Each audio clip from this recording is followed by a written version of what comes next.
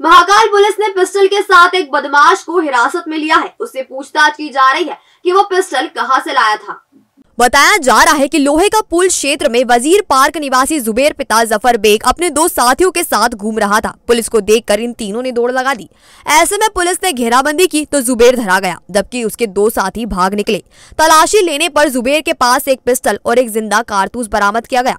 Police Zuber के दोनों साथियों की तलाश कर रही है। यह लोग दमदमा के रहने वाले बताए जा रहे हैं। जुबेर आपराधिक पृष्ठभूमि का है और उसके खिलाफ महाकाल थाने में दो और नीलगंगा थाने में एक अपराध दर्ज है।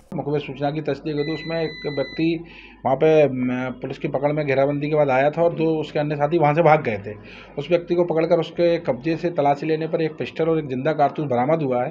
उसके खिलाफ प्रकरण पंजीबद्ध किया जाकर कल माननीय न्यायालय पेश किया जाएगा। हाँ इसके खिलाफ पहले के दो प्रकरण हमारे महाकाल थाने पर और एक नीलगंगा थाने पर प्रकरण पंजीबद्ध है। इसके और भी आपराधिक रिकॉर्ड के बारे में जानकारी एकत्रित की जा रही है। हाँ इसके बाद इसका कहना यह है कि इसने अपना एक दोस्त है, वो कहीं खरगोन से लेके आया था। उसके संबंध में भी हम जाँच कर रहे हैं कि वो कौन इसका दोस्त है और कहाँ से खरगोन से किस जगह से लेके आया था।